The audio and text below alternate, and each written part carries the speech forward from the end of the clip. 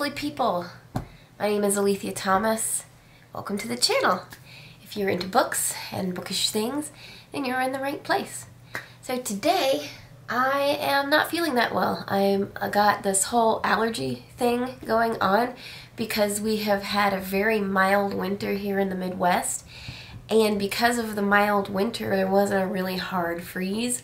And the pollen is going crazy all of the trees have exploded and there are huge pollen granules everywhere and I have really bad hay fever because of it. Like yesterday and then the day before when I was actually planning on filming, I felt good. Like in the early afternoon I was fine. And then as the day kind of wore on, I felt worse and worse and worse and I just couldn't stop coughing, I couldn't stop sneezing, and then it just kind of got worse from there. But I'm a little bit better now, and I've kind of been taking it easy. And so I decided, okay, let's go ahead and get video filmed and uh, get it out while I've got a little bit of extra time here.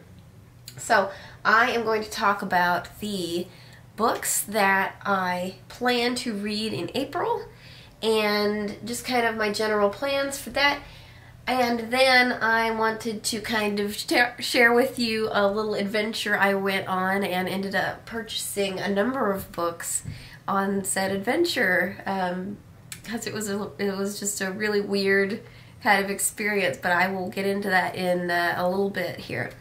So let's uh, let's first start with the books that I actually plan to read in April.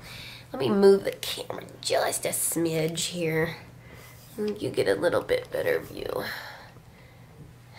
There we go. I think that's just a bit better. Okay. So I have a massive TBR right now, but I can't get to it all. It's just not feasible right now. And that's perfectly fine. I'm actually really glad to have too many books on the TBR to read currently. And I'm just going to have to push some more books um, off a little bit and probably just get to them a little bit later in the year.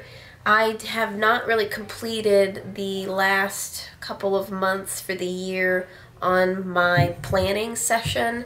I'll probably get to that um, here in the next couple of months once I see sort of what spring and summer are looking like for me. And um, I'll probably just end up moving some books and maybe incorporating some more shorts shorter novels and shorter stories into my reading, pardon me, so that I can kind of keep up with my goal of 100 books for this year. So just kind of keep that in mind. So what this has made me, forced me to do is just sort of tighten up what I'm actually going to read this month, which is totally fine. I have tests coming up, and so I've got to concentrate on getting that material read. And then once those tests are over, I'm free. I'm free bird and I can read whatever I want whenever I want and I'm just to buckle down and get to it right when that happens. So the um, the books that I have decided to concentrate on are going to be the following books. And I really, really want to get way farther in War and Peace than I am. I am currently 400, about 450 pages in. And I need to really buckle down and get through this a little bit more quickly. It's very good. I just haven't found a whole lot of time to really just concentrate on it. So I think that as soon as I'm able to, I'm going to go ahead and buckle down and concentrate on it. And then I'm also kind of reading this as well, uh, Russia Against Napoleon, which is the the true campaign um, of Russia, and, I'm sorry, of Napoleon trying to conquer Russia um, and the battles there, which has been a very interesting book um, so far to kind of companion read with this. It gives a lot of context. Excuse me, I've noticed that Tolstoy doesn't really get into the details of the battle very much and he fictionalizes some of it, which is to be expected, I think. But I do think that partner reading these things together is a very interesting experience. So I do recommend it. Um, so that's kind of one of the big things I'm concentrating on, and I'll probably get to that by the end of the month for sure. what I'm reading right now, and it's really good. And I didn't expect a nonfiction book to be this good. So this is Tulipomania, and it's by Mike Dash. And it's the true story of the world's most coveted flower and the extraordinary passions it aroused.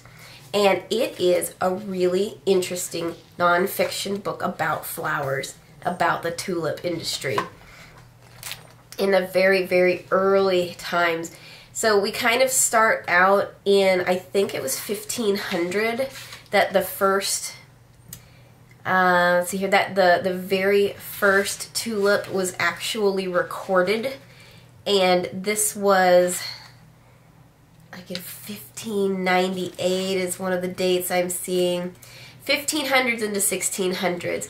And most, um, most botany, it, botany wasn't even a science at that point.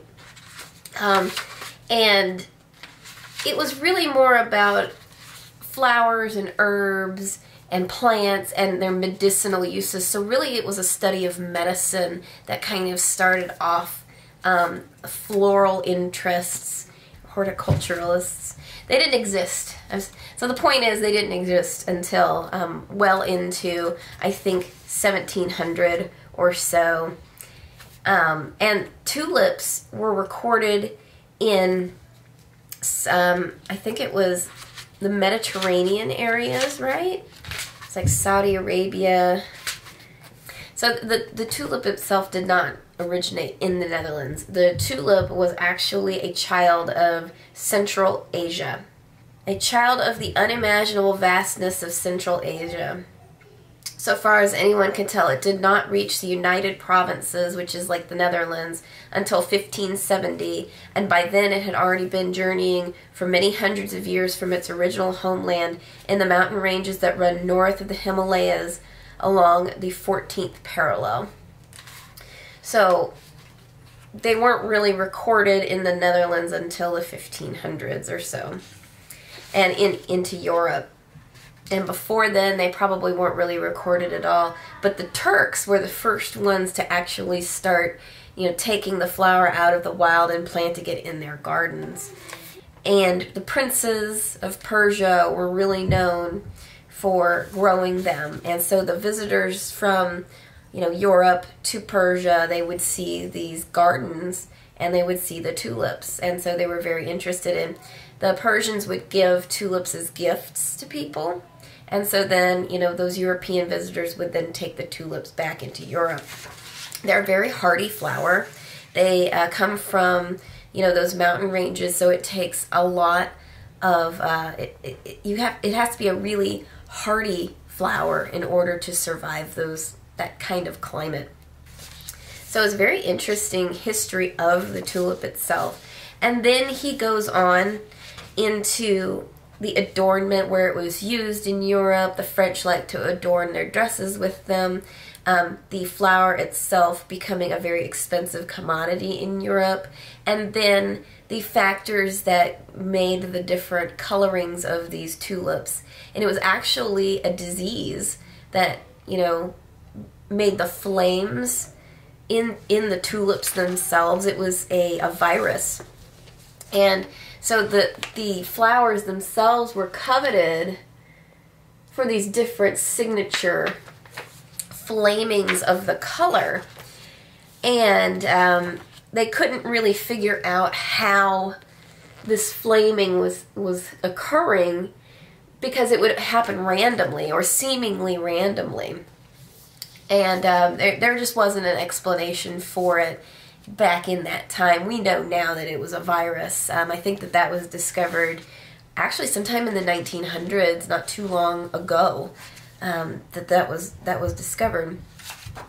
There's actually some really interesting, really interesting quotes about tulips here as well in this book.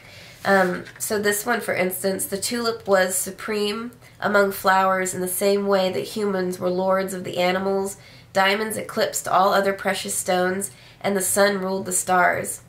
That judgment to a 17th century mind said something important about the tulip.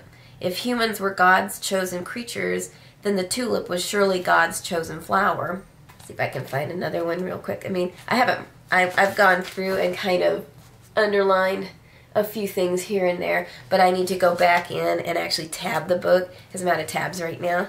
Voltaire had a quote, famous phrase, that the Roman Empire, the Holy Roman Empire, was neither holy nor Roman nor an empire. Um, because the Holy Roman Empire kind of got involved in growing the tulips as well for a little bit.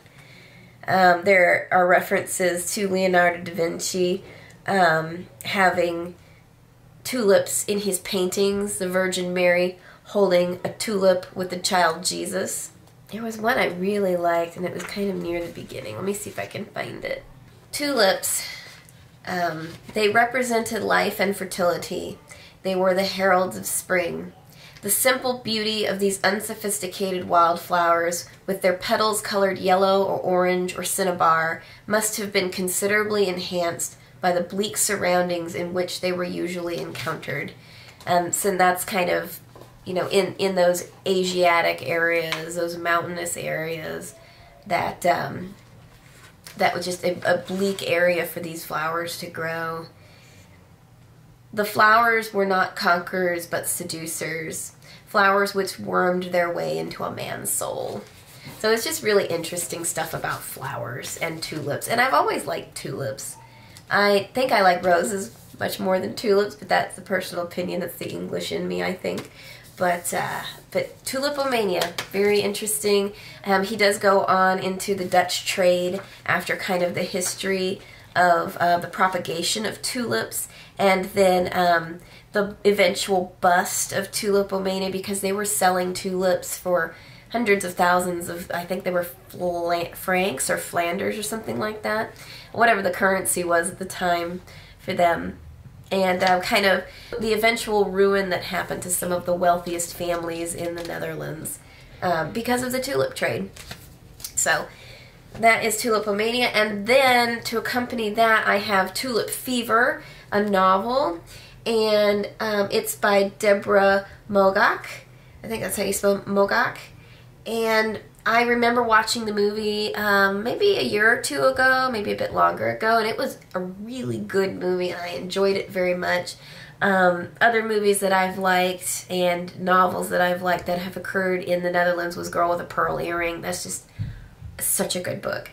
And I thought I would really, really love to read that. So as soon as I finish up Tulipomania, which shouldn't take me much longer. I'm, I'm almost halfway through it. I'm going to get started right on Tulip Fever. And Tulip Fever should be really quick for me because I know most of the story already. And more than likely, I'll just kind of skim it. But um, but I, I just I just have a feeling I will quick read. Uh, I will quick read Tulip Fever, and I cannot wait. I'm so I, I'm actually so ready. I might start it a little early. I don't know. But anyway, those are um, the actual decisions that I have made for this month. I will go ahead and just read these four and then uh, continue studying my material that I have to study for. And my test is uh, the first week of May anyway. So that's coming up. It's coming up. It'll be here before I know it, and hopefully I will do just fine. Um, so then on to my adventure. so we had a um, a happy hour at work. I work with uh, with litigators. I work with uh, record people, and it's it's a very interesting time. They're very interesting people, and they love to have a happy hour on occasion. So we went and we had happy hour, and I had two glasses, two five ounce glasses of Chardonnay. Nothing crazy, and we end happy hour. We all say goodbye. Um, and what I decide is I get up and I start walking out. I'm like, oh, you know, it probably wouldn't be very responsible of me to go ahead and get in my car and drive home right now because I'm not drunk, but I am definitely feeling it. So I think I'll walk around a little bit until I, uh, I, I feel sober enough to really drive. And there was a half price books across the street from the uh, Buffalo Wild Wings we were at. So I went to Buffalo, I went from Buffalo Wild Wings over to Half Price Books. And I was like, I'll just wander around in there for a while. And boy, was uh, was wandering around Half Price Books not drunk, but, you know, tipsy, wasn't a good idea. I ended up buying so much books. I guess we'll just start at the top. They had this Penguin Classics edition of Persuasion. And look at the price on that. It's practically perfect. There's only a couple dings like here and there. But, you know, 349 for that. I don't know if it's picking up very well on there. Uh, yeah. Oh, uh, no. No. Yes, no. 349 for that. You can't beat it. So I was like, okay, yes. We'll definitely pick up Persuasion and it can go in my Black Books collection. Then I got Little Women by Louise May Alcott in this nice Chiltern edition that is perfect. They're usually about 25 to $30 online and I couldn't pass this up for $17. Um, oh, I'm sorry, $18, $17.99. And, uh, hear that? Oh, it sounds good. New book smells good too. And it's got it's just lovely. I like the print. It's not too small. It's not too big. It's a nice handheld book. And if nothing else i'll probably keep these chilterns for trophy books. But i did really want um, a nice edition of little women to add to my collection. And this one i think is just little women. I don't think it includes good wives Yes, so this is just Little Women. It is not Good Wives. So um, that's just the first half of the US version, which usually includes both. So I will probably have to go ahead and pick up Good Wives um, just to go along with this. If Chiltern even makes an edition of Good Wives, I don't know yet. Uh, the next book, I went ahead and got The Moonstone by Wilkie Collins. And I've heard of The Moonstone often, actually, um, especially on Books and Things and that channel. She's so cool. I really love, I, I like, I can hear her talking in my head already, but I could listen to her speak all day long. Um, and she's also put out a, a book recently, and I just absolutely adore her. Um, but she has referred to the Moonstone quite often, and so I wanted to see what it's all about. And I've never read that. I have never read a Wilkie Collins, so I'm I am interested in this English author. So I thought that was a really good deal. It was five bucks. Let's see, what else did I get here? So I got uh, Daphne du Maurier's um, Rebecca, and I just thought when I saw this book that it was the neatest thing. I don't really pick up classics in hardbound too often right now, and I just when I saw the color of this book and I saw the binding, I was like, you're coming home with me. You can't stay here in this half-price bookstore. And it smells like old book. Oh my goodness, it smells like old book. And I've been really interested in reading Rebecca. Copyright 1938, so it's a fairly modern book, I guess. I don't know anything about it, but I've seen it on so many lists, and I hope it blows me away. I really do. Um, yeah, I'm, I am excited for Rebecca. Then I got In the Name of the Rose by Umberto Eco. And it was only $8. And it's an interesting type of um, binding, I guess. It's, it is a paperback, but it has these foldovers which are interesting. And the I know the uh, the binding just kind of popped a little bit on the the glue popped off, but that's fine. It's still perfectly good to read. Um, oh, that's a nice and nice and floppy actually. Um, I've seen this one also on a lot of people's TBRs and a lot of um, what they have read and recommend. And I hope that this one's really good too. I am really looking forward to it because I like, it looks like medieval, uh, medieval fiction. So yeah, it's a story that has Franciscan monks in it, but a, a fictional story. And I think there's a murder involved, if, if I'm remembering correctly. But anyway, I, I'm really excited to, to try this out as well. And I don't know where I'd seen this before, but as soon as I saw it, I was like, I need to get this one. Because I know I've seen it somewhere on a list. And it's Sarah Perry's The Essex Serpent. And I hope that this one's also really good, like, you know, another English sort of, uh, well, maybe not English. That was more of a medieval setting. Um, this one is set in 1893, and Cora Seaborne departs for coastal ex Essex. Once she's there, she hears rumors that after nearly 300 years, the mythical Essex serpent, a fearsome creature that once roamed the marshes, has returned. She's eager to investigate, and Cora is introduced to parish vicar William Ransome. As they attempt to discover the truth, these seeming opposites find themselves inexorably drawn together. As their pursuit becomes more urgent, Cora's London past follows her to the coast with striking consequences. So it looks, it sounds like fun. It sounds like a good time and I'm I'm very interested in reading this one as well. And it's so cool. I mean, I'm gonna try. I'm gonna get the sticker off. They usually make these, um, at least at my local half price books, so that yeah, it just peels right off. And it's just look at that cover. Isn't that the most colorful, beautiful cover you've seen in a while? There's so much going on, but it's not too much. You know, it's just perfect. So pretty. So yeah, I was excited to to see that there and it was only uh, $8.49, so $8.50. Good deals. So anyway, uh, that's what happens when I have a little too much to drink and then I go book shopping. I end up buying, how many? Like six books here? Yeah, six books. Um, and adding them onto my already too full TBR. So, yeah. Life problems. First world problems, maybe. I don't know. But anyway, I think that that's about it.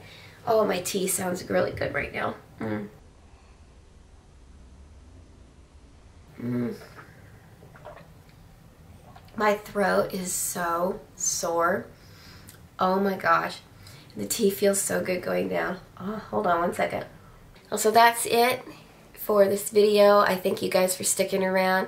I hope that your reading adventures are just as full of exciting, wonderful books as mine is, and I cannot wait to get to this stuff. There's not enough time. There's never enough time. If you like this video, I am very interested right now in trying to grow my community a little bit. Uh, I have 40 subscribers. Thank you guys so much to those of you who subscribed. It means the world to me, really. I am never going to monetize this channel. I'm never going to sell anything on this channel. I don't need to do that. I have a real-time job as well. So that's that's where my money comes from. I'm very happy with it too. So anyway, um, if you guys enjoy this content, please give it a like. Please share it with your friends. I want to see some more people uh, come and talk to me about books. What books are you reading? I'd love to know. So until next time, thank you guys so much, and you have a wonderful day. Bye-bye.